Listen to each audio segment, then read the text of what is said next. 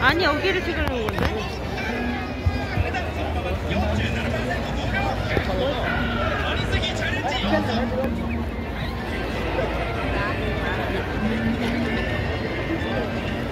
와, 저 봐봐. 전광판 나와.